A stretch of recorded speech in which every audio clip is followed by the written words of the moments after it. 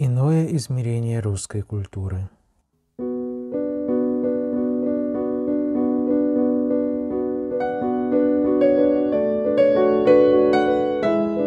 Лев Александрович Мей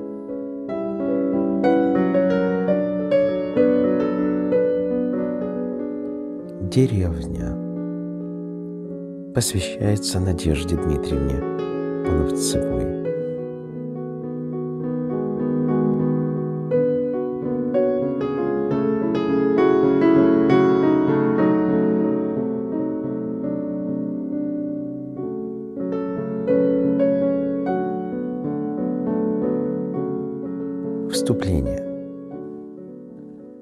Желали вы, я вам обещал, припроводить слияние послания с идиллией.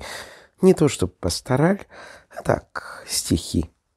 Приличного названия пока еще я к ним не подобрал, но входят в них мечты, воспоминания, намеки, грусть, природа при луне. Короче, все, что нужно вам и мне.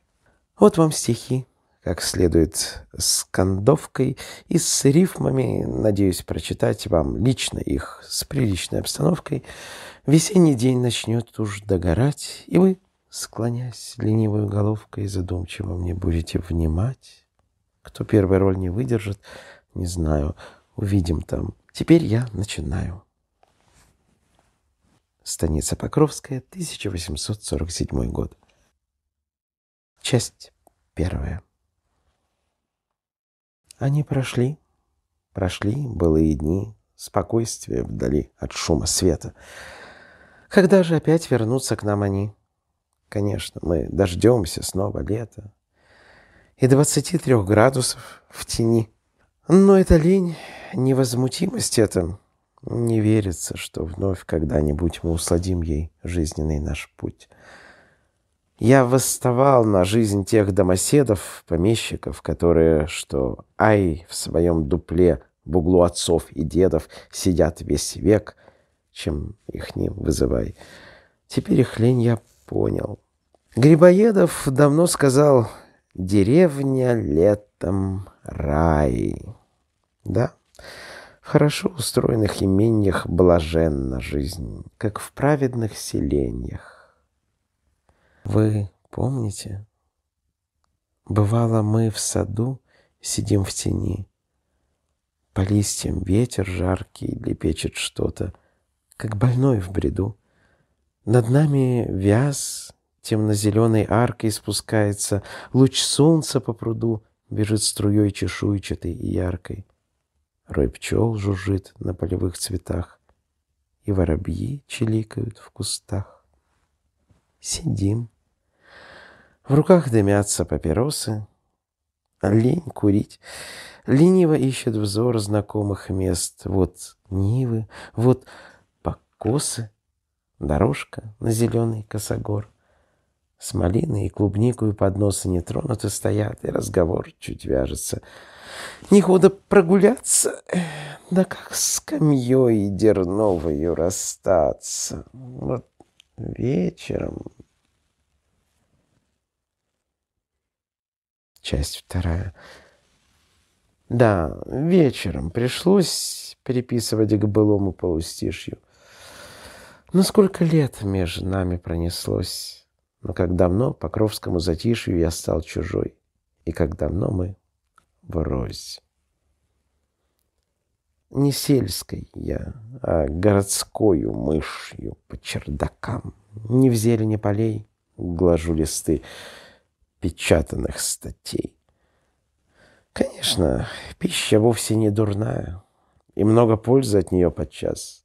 Но все-таки, о прежнем вспоминая, я умственно не отводил бы глаз от оных мест потерянного рая. Не Мильтона, могу уверить вас, где услаждали молодость не книги, а лес да лук с живой змейкой с книги. И точно, речка чудно хороша по вечерам. Тогда жара отхлынет, и полной грудью на воду дыша зеленый берег понемногу стынет. То ветвь сосны, то стрелку камыша прозрачной тенью в воду опрокинет, и тень за тенью стройны и легки, лениво тонут в пурпуре реки. Как весело тогда по косогору промойной песчаной на коне взбираться вверх к темнеющему бору и кланяться то еле, то сосне, чтоб веткою колючей без разбору не наклонялись сонные они. Но вот и гребень глинистый обрыва, багровый весь от зорного отлива. И что за вид оттуда за рекой? Не знаю, вам, а мне тоска сжимала всю внутренность рукой ледяной, когда с обрыва я глядел, бывало, вниз на реку. Зато, о боже мой, рвалась вон душа и ликовала, и призраком казалась печаль, когда смотрел я за реку в ту даль.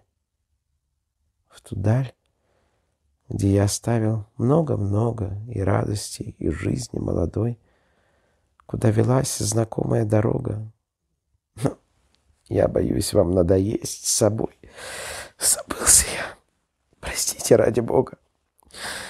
Мы с вами на обрыве, за рекой.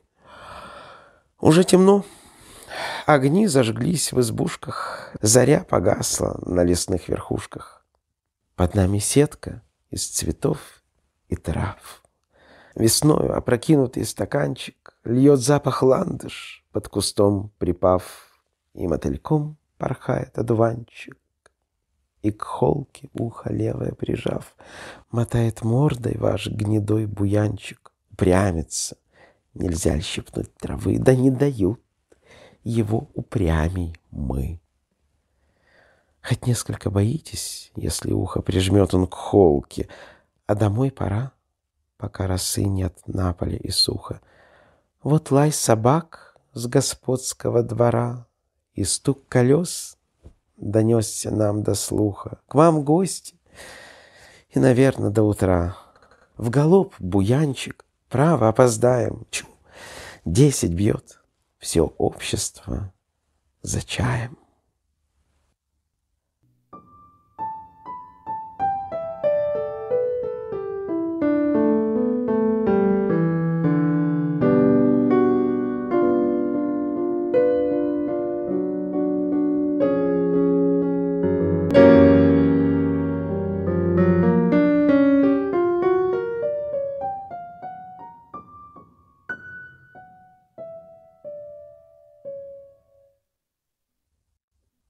1849 год. Читал Евгений Бразум Ружковский. Напечатано в томе первом полного собрания сочинений Льва Александровича Мея. Санкт-Петербург. Издание товарищества «Маркс», 1911 год.